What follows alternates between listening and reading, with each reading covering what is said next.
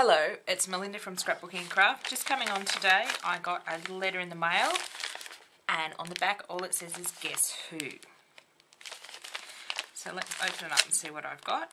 I've seen a couple of other mystery packages on some other YouTube channels, so I think I know what's inside.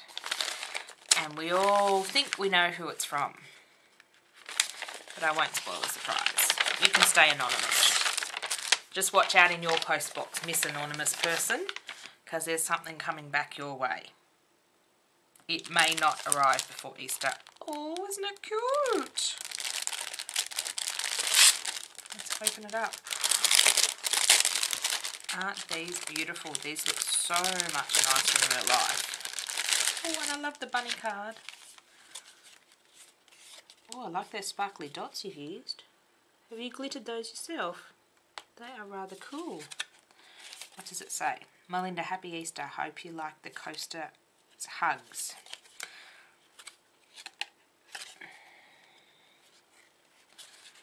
I like that card. That is very cute. So it sits up. I haven't seen a card like that before, so I'll have to, um, I think I know how we do it. We will have to have a go at doing that. Come to think of it, I think I actually have that paper in my stash. Looks very familiar. And I love the bunny on the front. Isn't he gorgeous? Oh, and some crocheted coasters with some beautiful tea. I love the white and the the white and the, sorry, just trying to get this paper clip off. Gonna have to bend it out.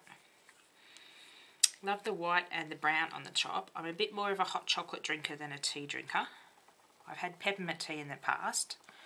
That's good when I was pregnant and felt nauseous. I used to drink a bit of peppermint tea.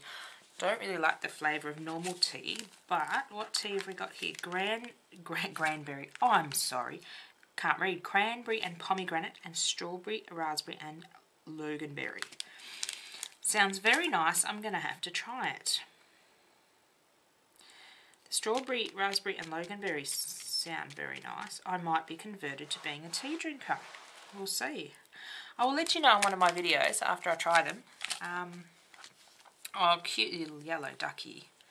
A little handle. I'd love to be able to learn to crochet. I had someone teach me some little, I call them granny squares, just your normal squares and my tension is not right, I can't, and I have holes where I shouldn't have holes. I know crocheting is full of holes, but apparently my holes are not in the right spot. So these are gorgeous. I will have to use them when I have a hot chocolate. Coming up into winter in Australia, I tend to have a lot of hot chocolates to stay warm. Got to have my marshmallows in my hot chocolate, but I might try my tea and see if that becomes a winter thing.